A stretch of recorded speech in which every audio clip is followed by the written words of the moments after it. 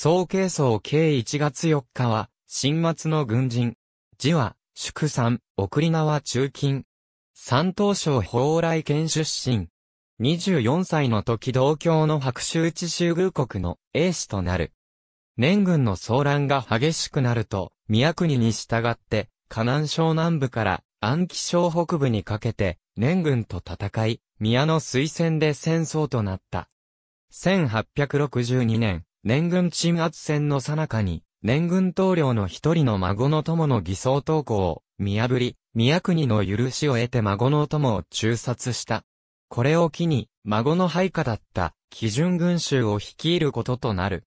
同年、功績により、総兵に昇進し、バトルの称号を得た。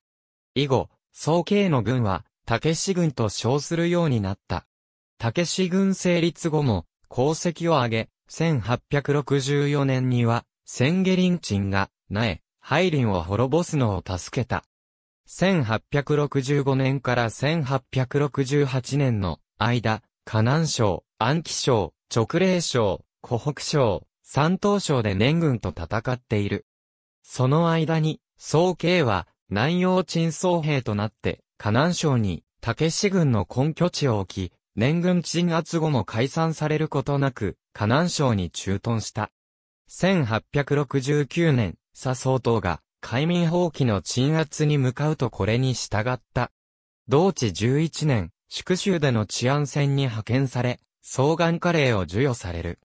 その後、領州駐屯を経て、同地13年9月に、湖南提督、四川提督に任命されたが、実際には赴いていない。総計自身は Y 軍に属しておらず、安徽省出身でもなかったが、竹志軍の兵員の主体は、李光省や Y 軍と同じ安徽省出身者であったことから、竹志軍は Y 軍に準じて、李光省の北洋軍の一翼を担うこととなり、場合によっては、Y 軍の一部として扱われるようにもなった。高所6年、ロシアとの関係が緊張すると、新朝は、旅順を軍港として経営することをはじめ、竹志軍に、旅順の防衛に当たらせた。総計は当初法典で、高所8年以降は十数年にわたって、旅順に駐屯し、日清戦争の直前には旧 A の軍を要するまでになった。高所12年、厚志親王の高越で特連。高所16年、大使小保。高所20年には少書。1894年、日清戦争が勃発すると、平壌に馬玉根の4個営を派遣、また9月2日より、方便北洋軍務として前方各軍を指揮したが、9月14日より、李光省の命により旧連城に赴き、橋長に代わって前線で指揮を行う。しかし諸将を統率できず、軍機も乱れていたため平壌の戦いで敗走。27日には旧連城も陥落し、旅順の陥落を招くこととなった。その後、12月21日より、劉根一を補佐して30個 A の援軍を派遣、栄光を守っていたが、再び、日本軍に敗れ、両街島の領土を失ったため処罰された。1898年、竹志軍は、武衛左軍と解消され、金州に駐屯した。この時すでに80歳と高齢であったため、義和団の乱の際は、高所26年6月4日より馬玉根を、武衛左軍総統に継がせ、天津に派遣。しかし北京に進撃する8カ国連合軍に、北倉で敗北した。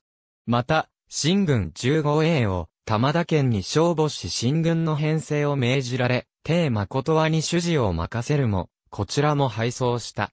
12月8日、武衛左軍の再編を立案し、高所27年4月、武衛左軍から 9A を抽出して、竹志軍を再編、相当に、京桂台。高所28年1月4日、中部により、河南にて病死。三等男爵、二等傾斜とい。権領祠にいるし、仁和寺にある変学、高三増加。高著帝外期春国丹総統、竹志軍師選定徳、総計系律とある。